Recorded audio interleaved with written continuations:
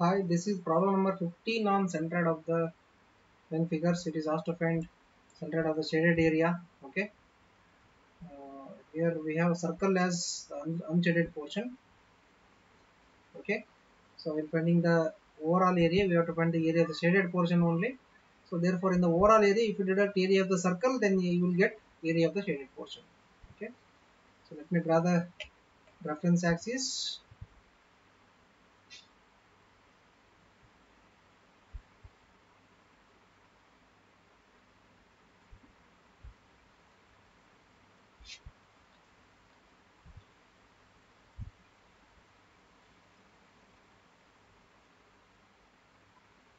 This is reference x-axis and this is reference y-axis.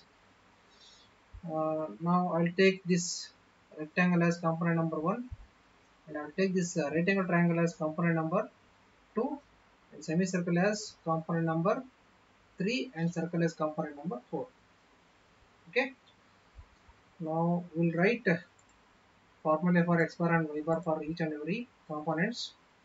See for right angle triangle if I assume G2 as centroid so distance of G2 what is the formula for x bar here? So the x bar is going from the line so it is one third means b by 3 b by 3 okay. And what about the y bar? Y bar is also going from the line. H by 3 okay if it is going from the bar it is 2b by 3 and 2h by 3 but here x bar is going from the line b by 3 so y bar is also going from the line h by 3 then coming to semicircle. Let me take g3 as centroid of semicircle. So distance of g3 from means distance of centroid of semicircle from its diameter is always 4r by 3 pi. Let me write that formula. 4r by 3 pi. 4r by 3 pi. And distance of centroid from the end point is always equal to radius. Okay. For circle no need to write any formula. Exactly at center of the circle only centroid will be lying. Let me take it as g4 okay now we'll start doing the calculations. Let me take the first component that is rectangle. Rectangle number 1 area is b into d. What is width of the rectangle? Width is 60 plus 60 120 and depth is what is the depth of rectangle? Depth of the rectangle? This depth of the rectangle is equal to diameter of the semicircle radius is given 50 mm. Okay radius is given as 50 mm. So 2 times the radius is diameter. So 2 into 50 it is 100 mm. 100 mm is the depth of rectangle. Okay depth of rectangle is equal to diameter of the semicircle. So it is 120 into 100 120 into 100 it is 12000 mm square coming to the x value b by 2 120 by 2 60 mm coming to the y value d by 2 100 by 2 so it gives 50 mm okay? Then go for the next component rectangle 2 sorry right angle triangle 2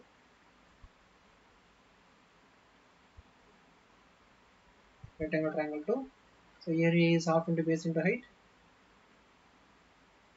half into base. Base width is 120 okay 120 here we have determined that value. Height is 60 120 into 60 so 3600 mm square. Okay then coming to the x value for right angle triangle. Mean distance of g2 from reference y axis. It is directly b by 3 b is 120 by 3 40 mm. 40 mm. Coming to the y value is distance of g2 g2 from reference x axis. This, this distance.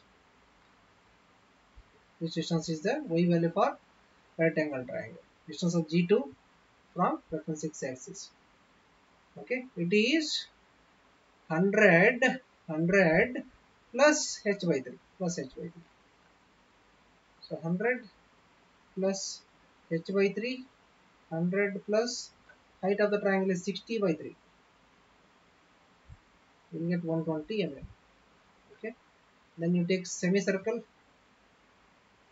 semicircle 3 area is pi r square by 2 radius is 50 pi into 50 square by 2 uh, the area of the semi semicircle is uh,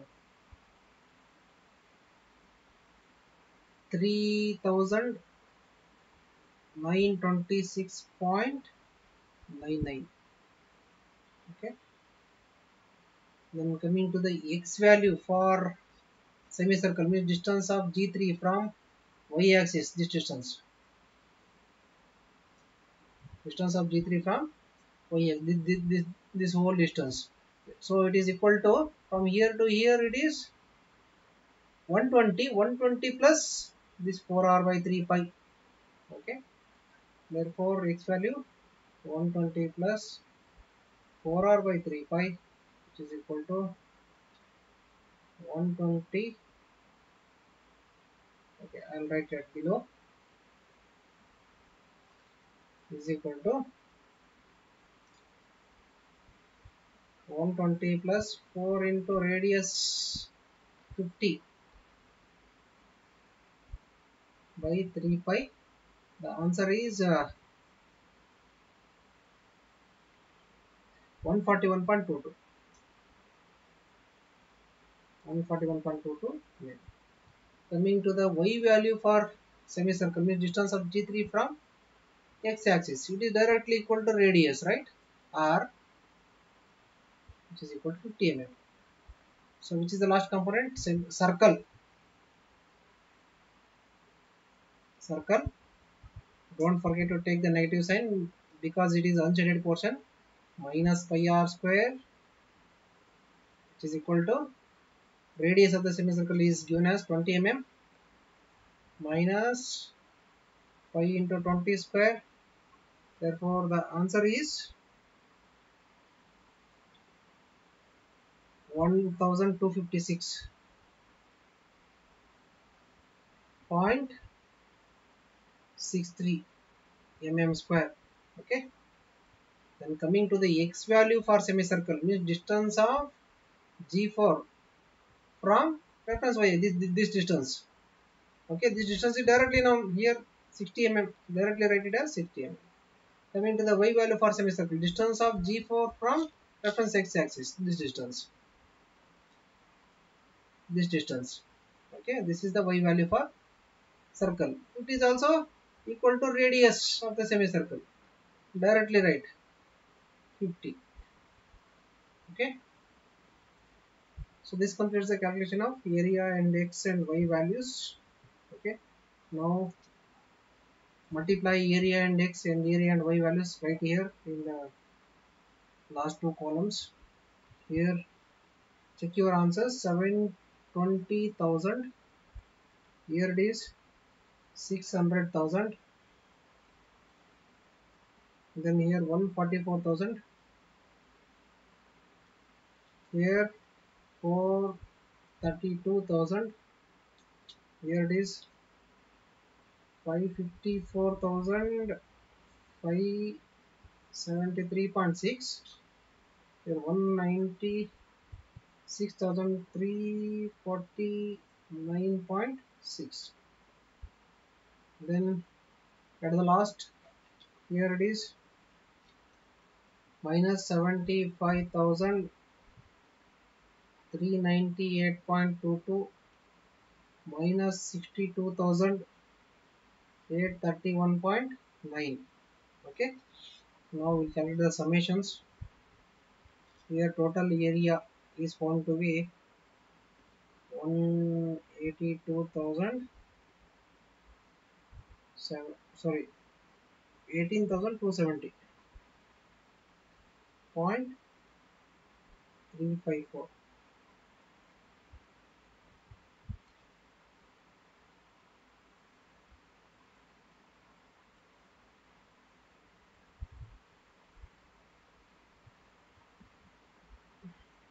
okay then sigma ax is equal to it is 1343175.4 sigma ay is equal to 1165 517 okay?